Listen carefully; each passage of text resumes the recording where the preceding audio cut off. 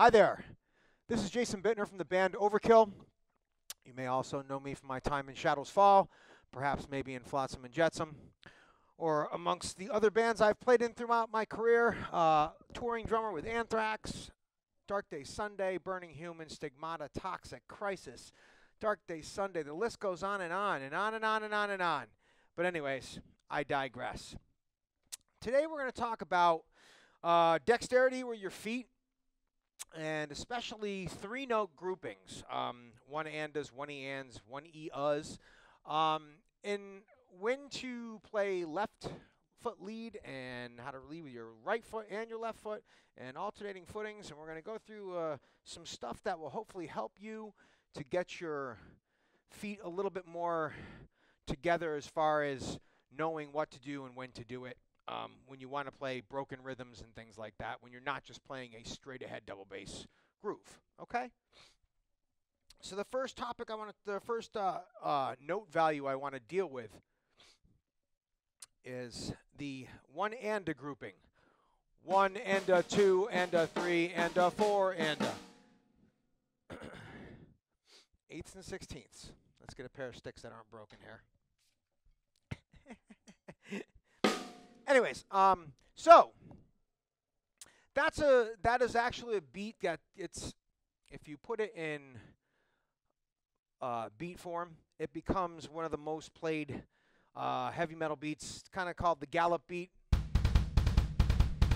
One and a two and a three and a four.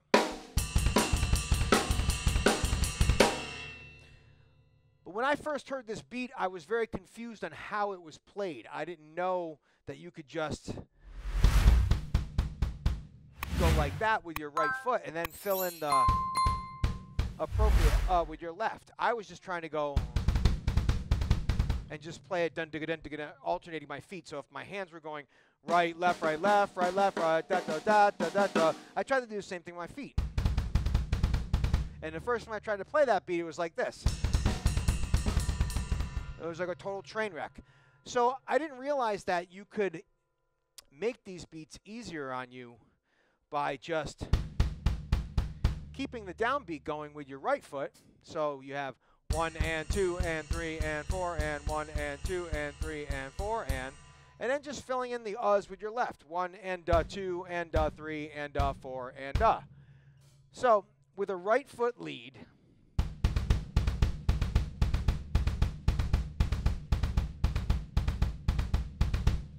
You get that.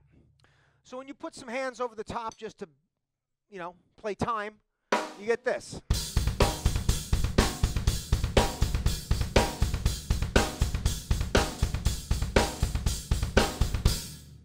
I also will note that I do play heel up for mostly everything, aside from extremely fast stuff. Well, fast for me heels come down a little bit, um, or if I'm playing like uh, any kind of Afro-Cuban, Latin jazz, any kind of that, that is played heel down. But for the most part, everything is heel up, engaged, and firing from the leg. So once again, this song is very well known in our song "Feel the Fire."